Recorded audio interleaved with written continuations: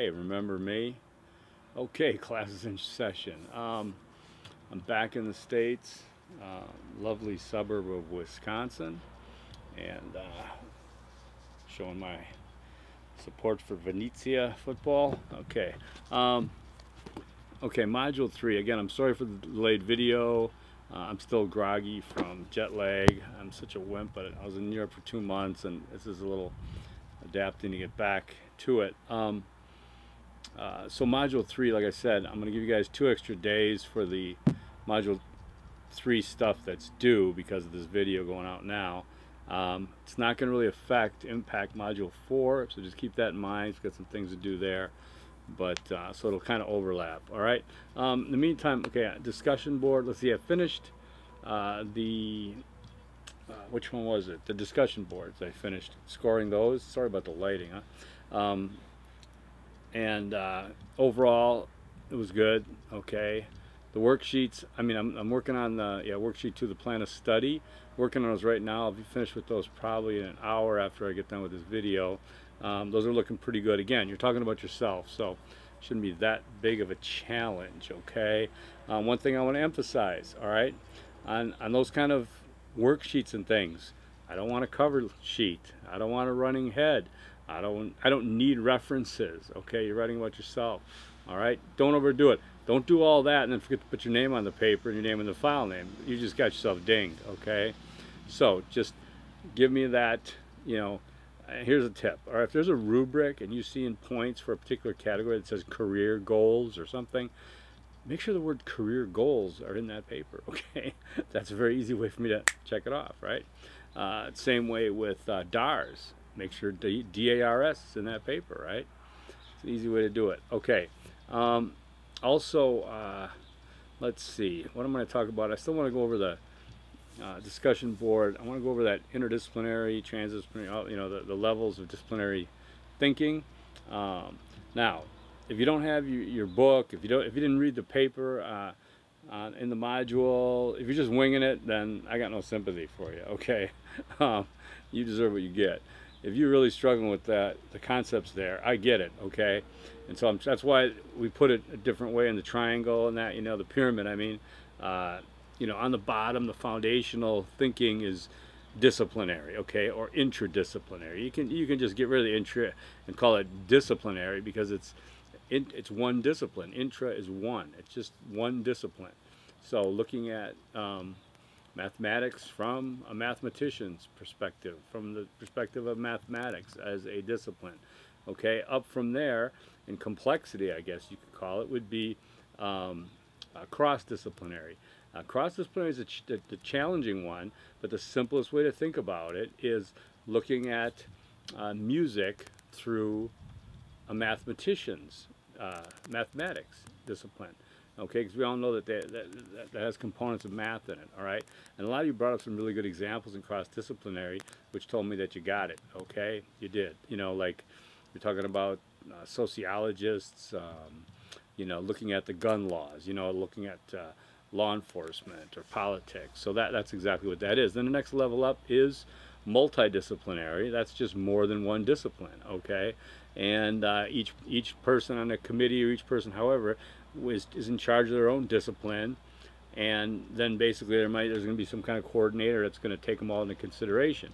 But it's not interdisciplinary which is where they're all meeting and I mean they're talking with each other trying to find common languages common terms okay? So because you know if you go to your English you know courses and then try to take that language over to geology, it's going to be a big fail, okay? Because they speak different languages. But there are commonalities in there, and sometimes those obstacles just need to be ironed out, and then um, interdisciplinary process takes place, okay? Uh, and then beyond that, again, is the transdisciplinary, which is beyond the discipline. So you can just think of that as outside the world of academic and just um, including disciplines, but going beyond it. And there's different ways to look at it, transcending. Um, again, the biggest one of the biggest issues that most people had was you didn't name disciplines. I put it in the instructions. I put it in the video. The disciplines, interdisciplinary, cross-disciplinary, multidisciplinary, interdisciplinary, transdisciplinary, disciplines. It isn't inter-occupational, cross-occupational, inter-cross, occupational. Okay, the occupations are important. We're talking about committee and talking about it in real life, but you got to go from, you can't go from point A to C. B is in there. B is the disciplines. You got to, you got to tell me the disciplines that you're talking about. You don't tell me a law enforcement. What, what is that? That's occupational. That's not, you know, criminology and law studies or something that effect. Okay, uh, so you got to get the um, the discipline in there. All right. Uh, questions, comments, concerns about that, please let me know. But you should be able to get that. Uh, understand what those different levels are. Okay. Um, all right. So there was a lot of writing in that one, which is great. You know, your college, you can do that, right? Okay.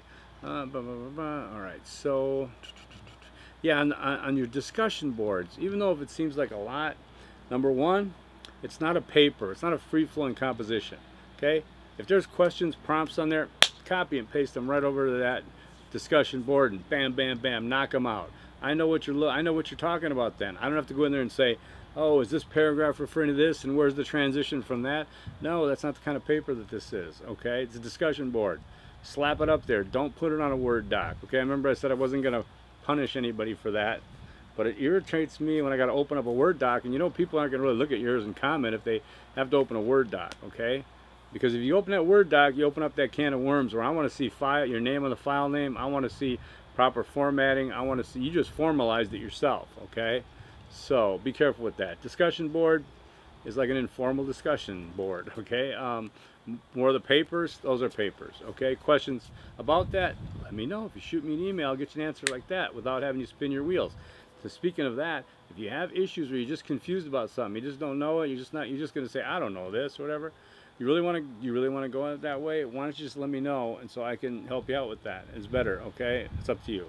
All right so um, so let's see. Module three we're talking about plagiarism and intellectual autobiography. Okay so there is a readings there. Let's see. One is the case well the case five arguments against interdisciplinary studies. Thomas Benson this is a good one. He's devil's advocate here and I think he's devil's advocate or he might just be ripping us right from the heart. Um, again, these are these are can be old. Uh, this is from this is from Issues in Integrative Studies from 1982.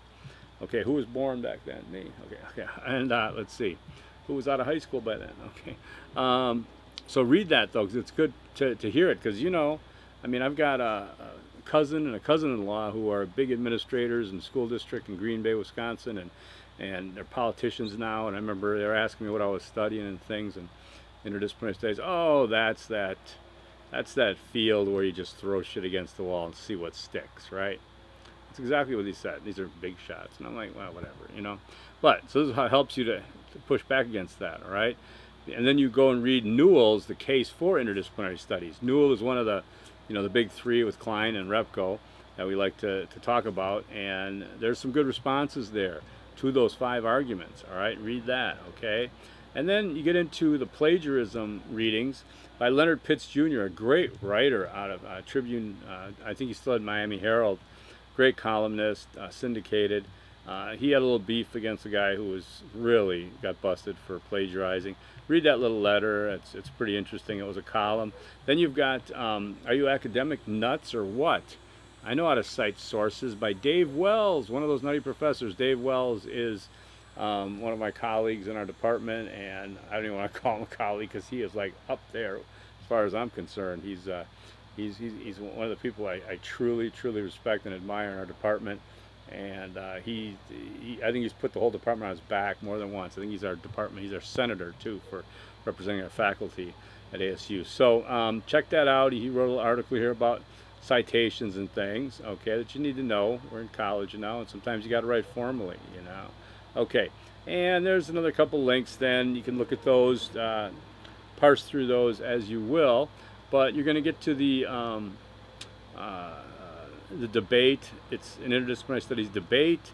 I changed the due dates on that already. It's pretty much self-explanatory. Do the best you can there. Extra points for originality because you know how many of these I've read over my time and it's just the same old, same old. But if you think outside the box, um, good stuff. Read those articles from AZ Central. They're still up. Um, I'm double checking now because I checked for the before it began. It's great article, letter to the editor, Ripon ASU for interdisciplinary studies. Back when it was a three-year program, which I don't know how long that was.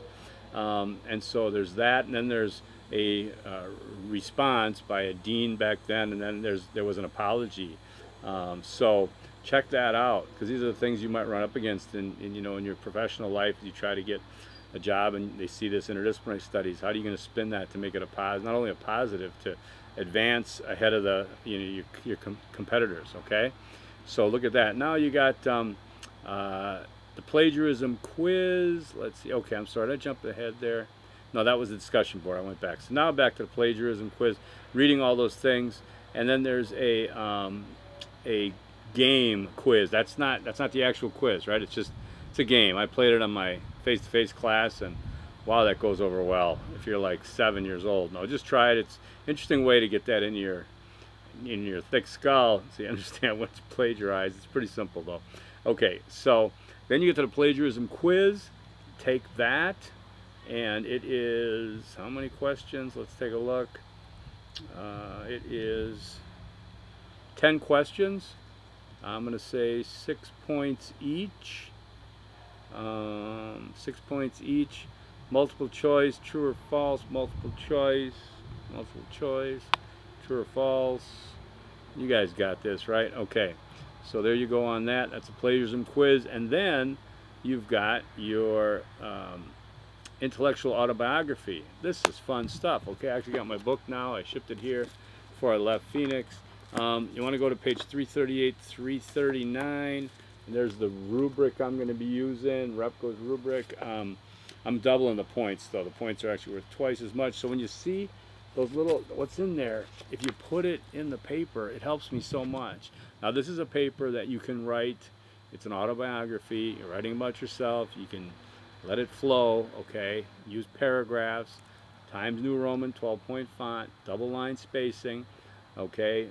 Give me your name and the file name. So you would put like, you know, you'd save it, you know, save it as, you know, uh, intellectual autobiography or uh, int aut, uh, you know, underscore Schwartz, uh, dot doc, whatever, and send it up so I know it's there. Put your name on the paper also, okay? And we're good to go. I don't need fancy covers. Don't need an abstract, okay? No abstracts in this entire class, okay? Not one. All right. Um, if you have any questions about it, let me know. But it's time. It's um, like I said, Times New Roman, and uh, you can use Purdue OWL for the uh, formatting. Then, if you'd like to do that, okay? So um, it's it's an intellectual autobiography. It's not like you know. And then my little league team won, you know, six to one, and we went for pizza intellectually it's how you you know these things that inform you certainly there's going to be different situations that you could illustrate examples of how something happened that was important to your intellectual growth and development as a younger person um, I think we all have that I went to Catholic grade school in the 60s and oh man it took me decades of therapy to, no I'm just kidding it was fine but um, so there's all these types of uh, influences we have uh, situations that come up that create um, our intellectual um, how we develop and how we evolve. Okay, check that out. Give me a call, or I mean, give me a text, uh, email.